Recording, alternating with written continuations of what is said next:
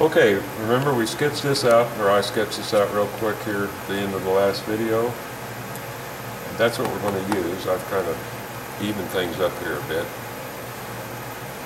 You always even these things up just by folding them over and holding them up to the window so you get your, uh, get, get it balanced out perfectly. So anyway, then I went and I transferred it over on this block of wood. I cut this out of a piece of that Heineke wood. It cost me $15.45. But believe me, I'll get a lot more money out of it than that. So I'm not worried about that. Anyway, I traced that pattern off. This is cut off a little down here at the bottom, probably about right there. So I just extended a little bit and added a foot on down here at the bottom to mount it on its final base, okay? On the side, it's a three inch piece.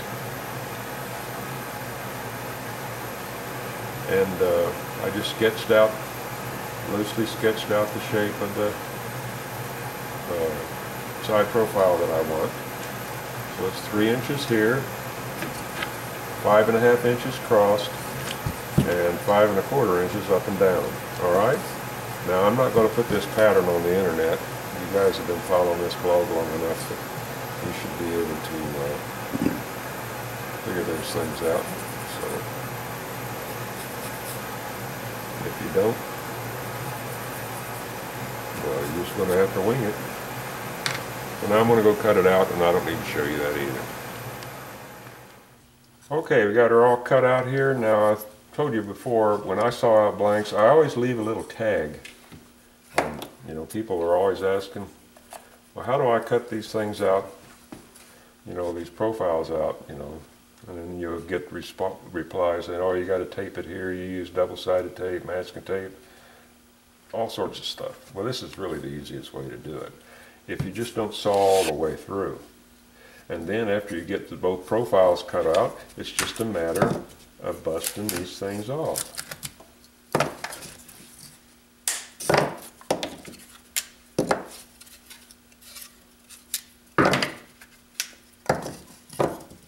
looky there, you got your blank. See there? You didn't have to go through all that rigmarole. Now, what I'm going to do, and I don't recommend that you do this, I will go over to my saw and I'll lop these corners off just freehanding it, just to save me some trouble. But you don't, you know, like I say, don't do that if you're not comfortable with your equipment. All right, so at the moment, I'm just going to set that aside. We're going to go ahead and finish this head up, get that part completely done before we start working on that there. Okay, to add a little texture to his eyebrows here, just to keep them from laying flat, I'm just going to use a little flex steel curve tool here and just just kind of indicate some movement, not a lot, you know, I don't get carried away with this stuff. Just make your lines, you want them to flow with the direction of the eyebrow.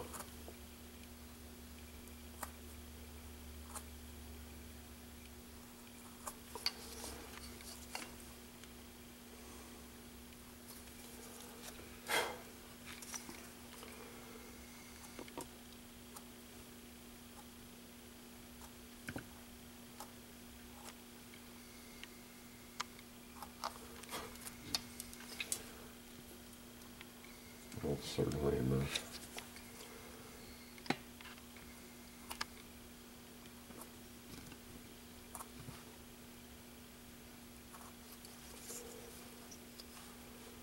I got a question about the eyes. You know, yesterday or last video I mentioned that uh, a friend told me that he found out that when you move your eye, your eye protrudes farther in the direction that you're looking. And that's because the muscles on your eye, you know, you tighten up. While one side tightens, the other side loosens. I'm assuming. So on this figure, to indicate that, that's why I made a deeper loop here and a deeper crease right here. Deeper loop here and a deeper crease right there course he's going to be looking right there.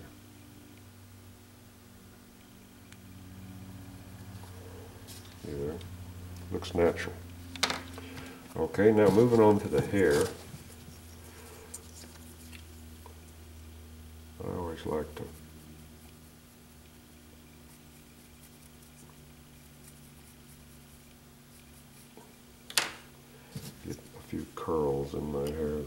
curl, but uh, just a direction. of it.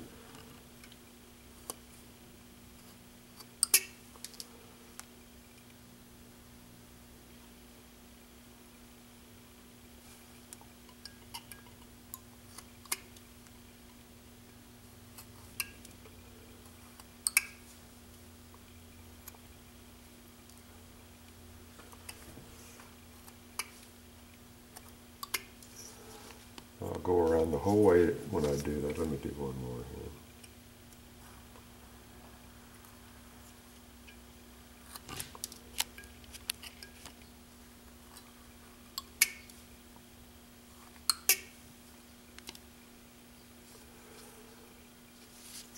And come back and kind of take out that little chip right there.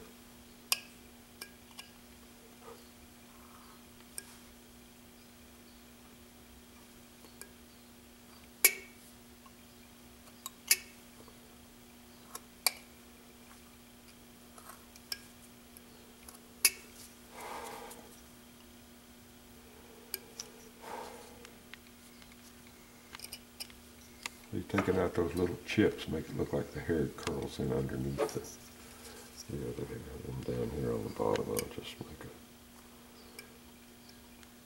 sort of a jagged edge to hard to see in here with this light. Mm-hmm.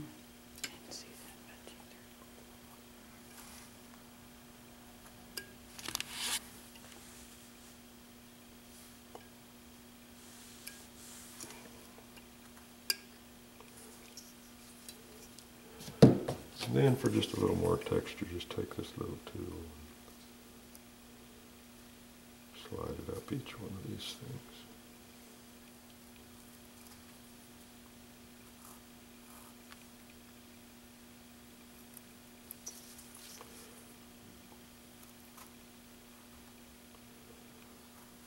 Again, you got to be careful how your grain goes.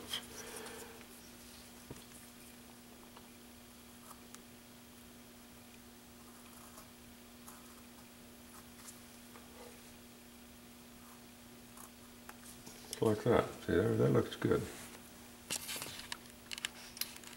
Okay, and I'll just do that same thing all the way around this head clear over here to the other side.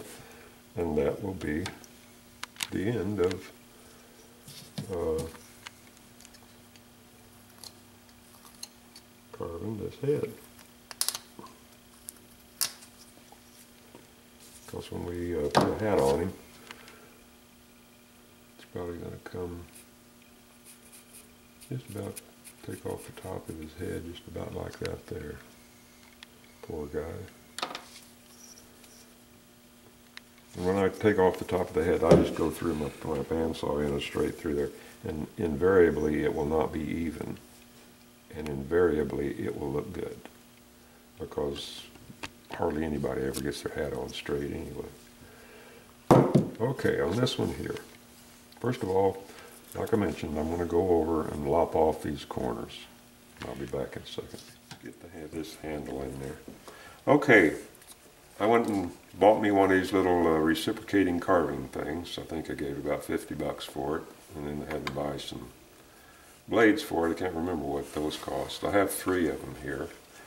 Just various gouges, a real shallow one, a little deeper one, and then a deeper one still. And these about do what I need it for because I don't use this thing too much, but it does save me a heck of a lot of work. So anyway, what I use it for basically is on these uh, busts. Uh, it's just for roughing out the back areas or any other areas where there's still lots of uh, waste to contend with. And it just hooks onto my uh, Foredom here. And you just hit the control down there. It gets kind of rackety, but it's all right.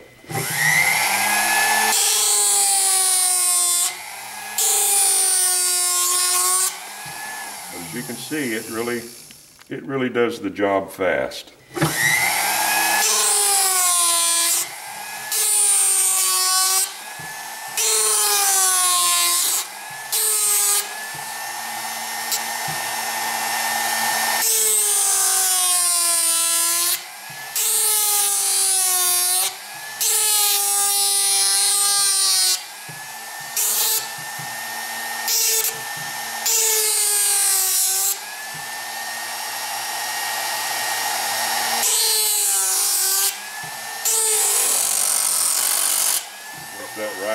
push a little too hard.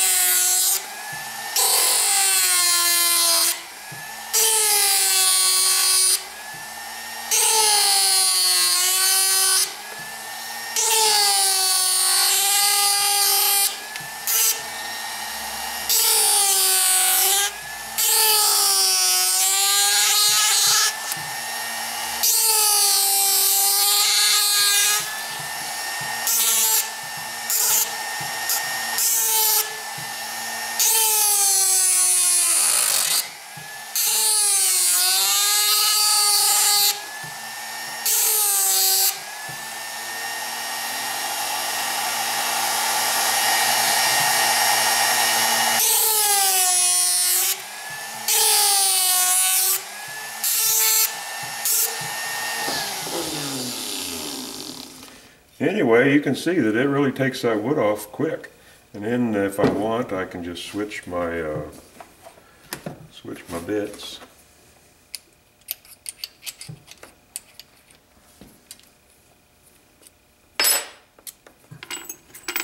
Put in the shallower one.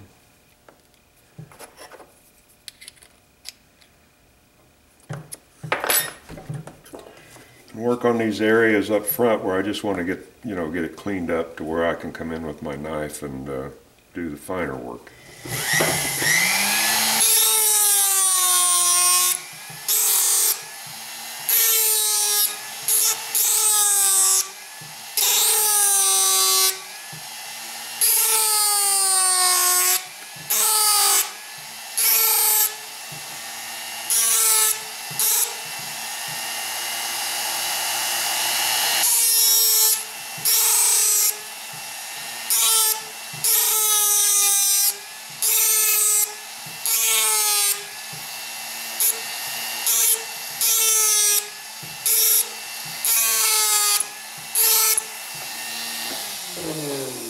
Oh, you're all just sitting out there waiting for me to jab that thing into my hand. Fortunately, I haven't done that yet, and I'm sure there's others out there saying, God, boy, that guy sure doesn't know how to use that tool very well, which is probably true. But that's okay. So anyway, I'm going to continue using this to go ahead and clean this thing up, and uh, in the next video, we'll start doing the detail on this so we can get that head stuck in there. Because I like to look at the head and everything in it, in its body before he puts his hat on. I mean, that's just the way things are. And uh, that way we can tell exactly, you know, the best attitude or the best type of hat that we're going to put on his head. So until next time, I'll talk to you later.